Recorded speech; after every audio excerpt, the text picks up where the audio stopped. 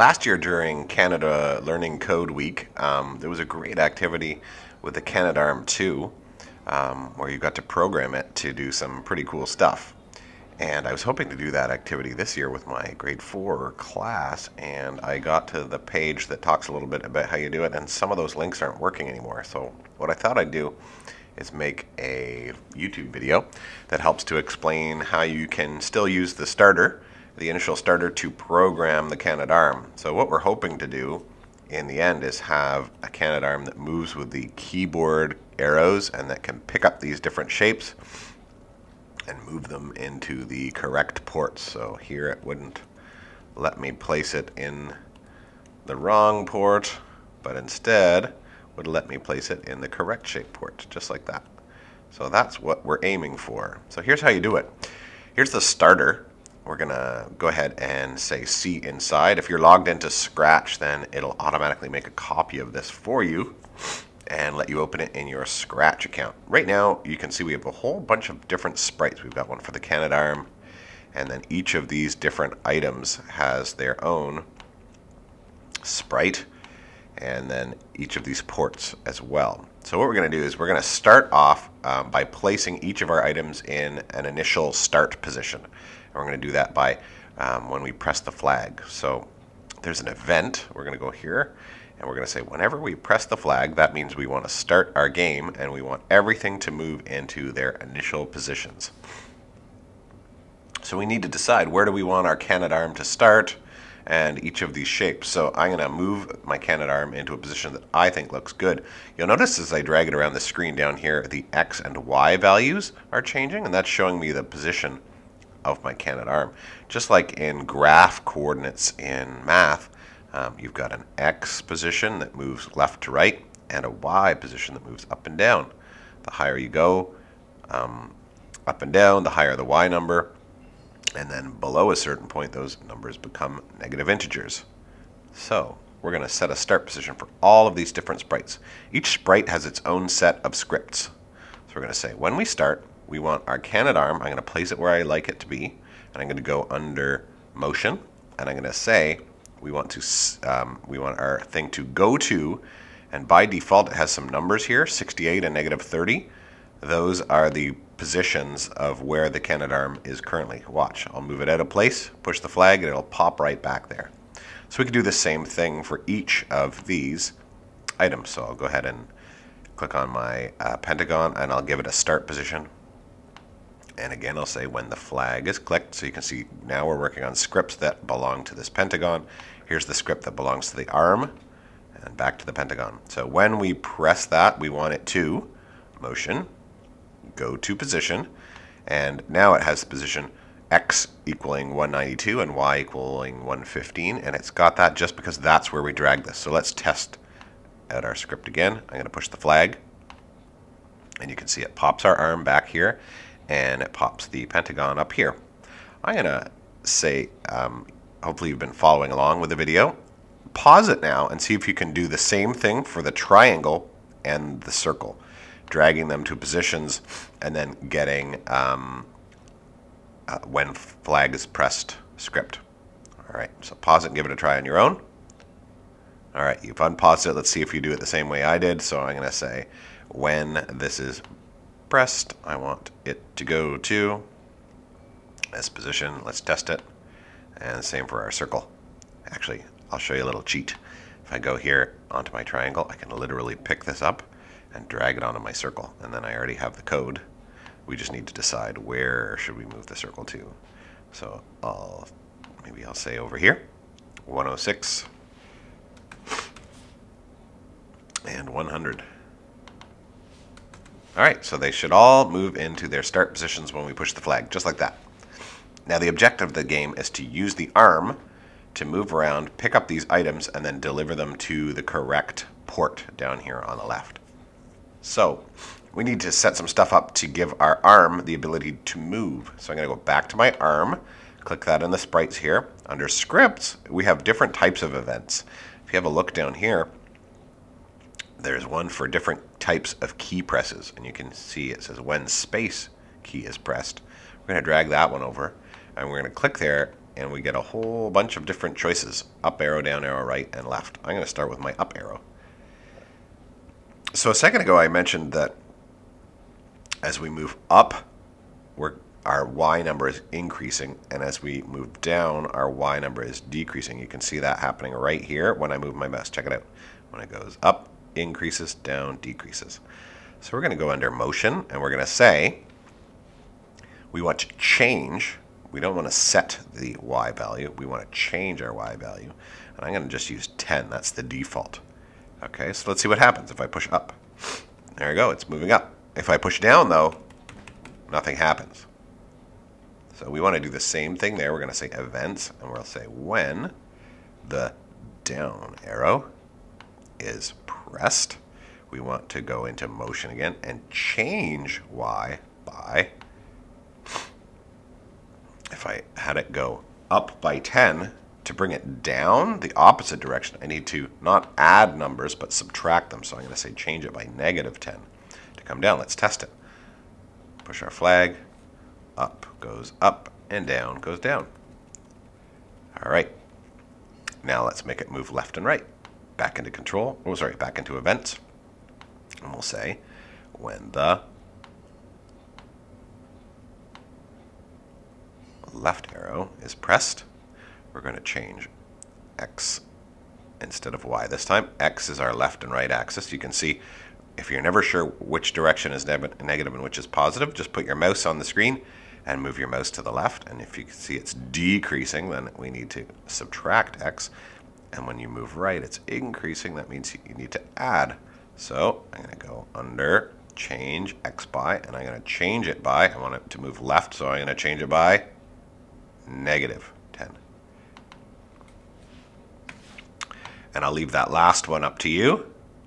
Pause the video and give it a try. Okay, so when the right arrow is pressed, I want to change my x by, sorry, change my x by 10. So let's test it. Right, left, up, down. All right, cool you can see my item has different costumes. If I click here on costumes, I can see it has an closed and open costume. my closed claw is costume number one, and my open costume is number two. I'm going to go back to my scripts now. And we're going to set a few other things to happen when we start our script. We are going to go to our costumes. Sorry, we're going to go under looks and say we want our costume always, uh, we want our claw to be open when it starts. So I say switch costume to Canadarm open. So let's try that. Push the flag, moves into space, and it has an open. Now we're going to set up another event, and we're going to say, whenever we push that space bar, we want our claw to, if it's open, we want it to close, and if it's closed, we want it to open. We want to move our arm to one of these items, close the claw so it grabs it, move it to where it needs to go, and then open it to drop it into the correct port. So I'm going to say when the space key is pressed, that's what we'll use, we want it to, if it's closed, we want it to open, and if it's open, we want it to close. So here's how we can do that. There's a really easy way to do that, and that's just to have it switch the costume. So if I go here under looks, I can say switch my costume. Oops, sorry. Just next costume, rather. So watch. When I hit space, it just keeps changing. And that's fine, except for we need to actually have the computer program remember whether or not the claw is open or closed. So we're going to have to make it a little more complicated than that. I'm just going to take that next costume item off and throw it away. So we're going to talk a little bit about controls here A control is something that can check to see if something is true or false and then make a decision based on that. So we're going to grab this little block here. This is our if then else block. So we're going to check to see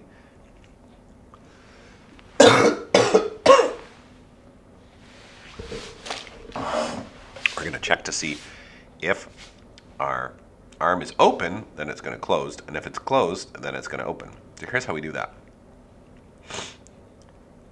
If you look under looks here, you can see that it can remember what costume number you're using.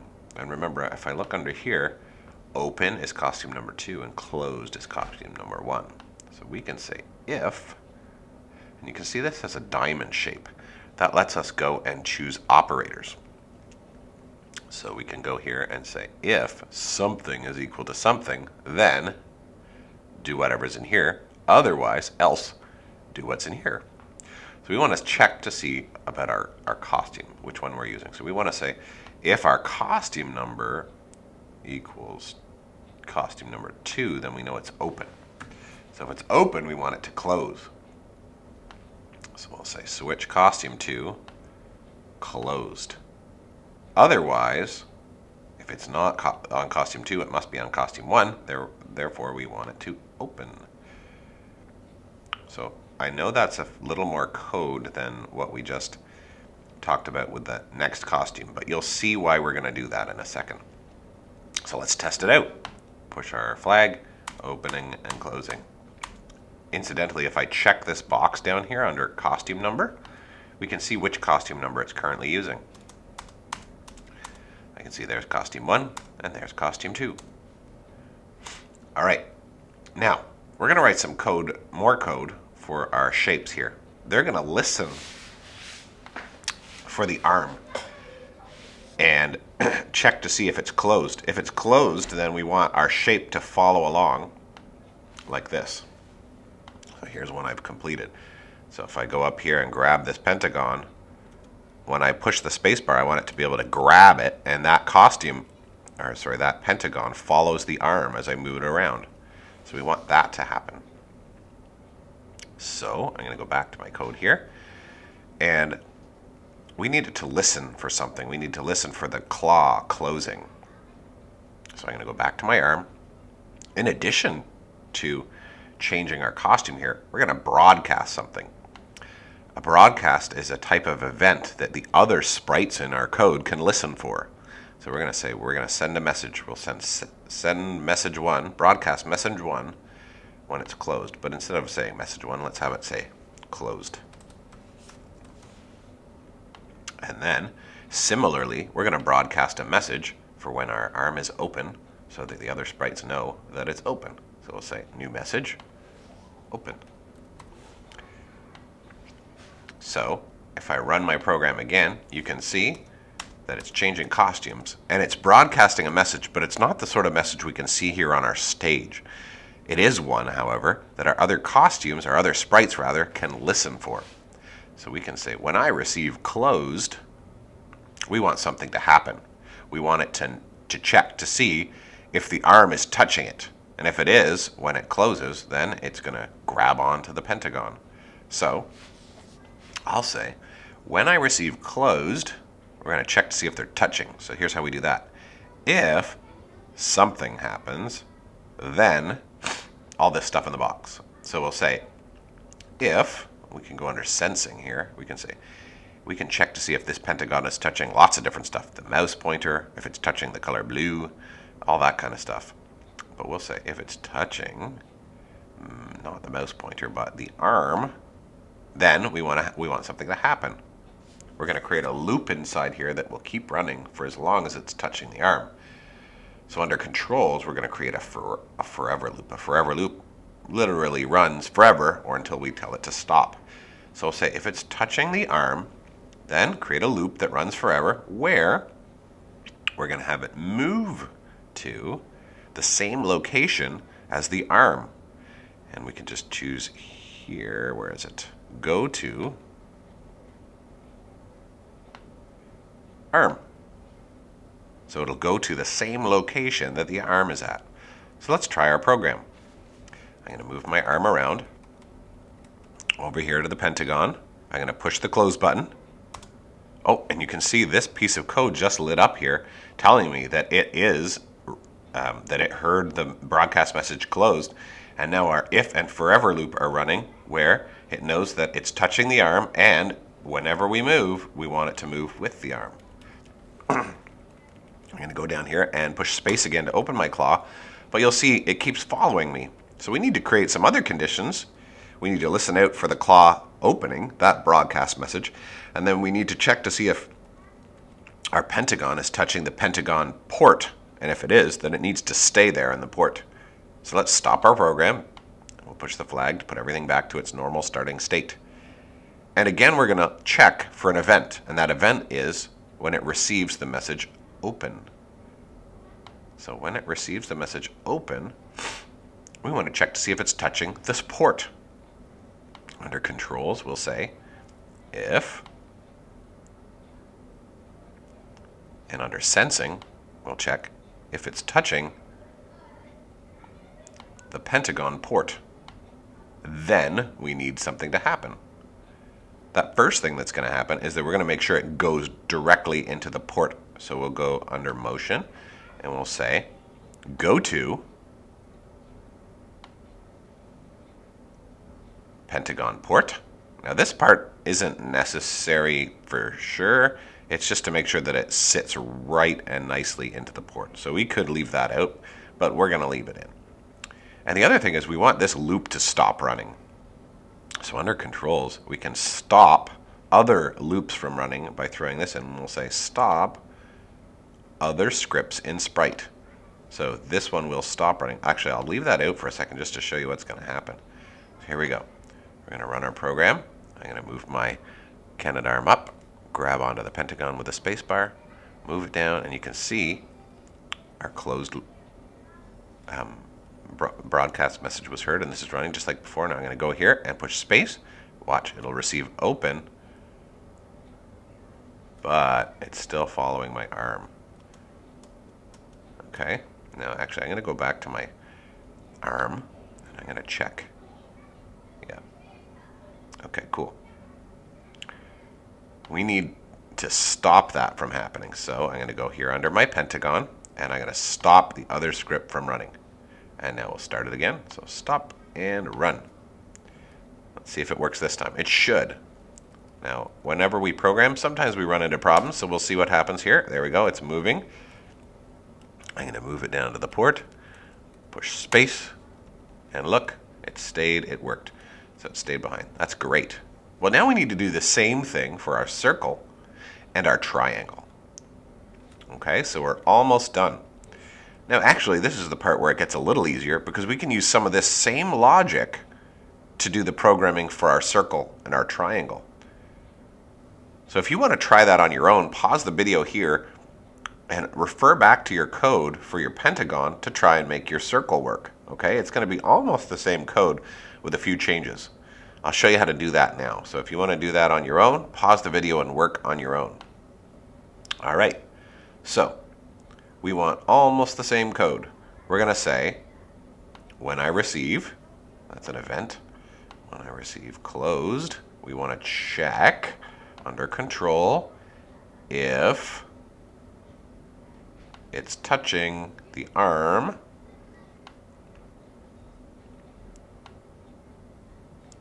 and if it is we're going to create a, a loop that runs forever or until we tell it to stop where it's going to move to the position of the arm.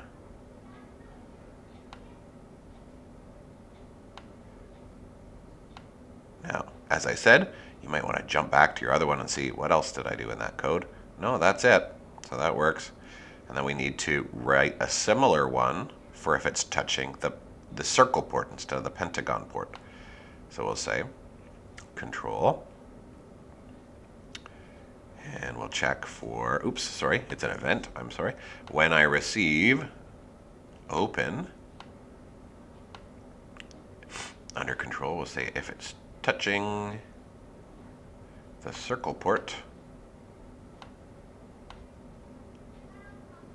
Oops, make sure it jumps right in there. If it's touching the circle port, then we want to have it move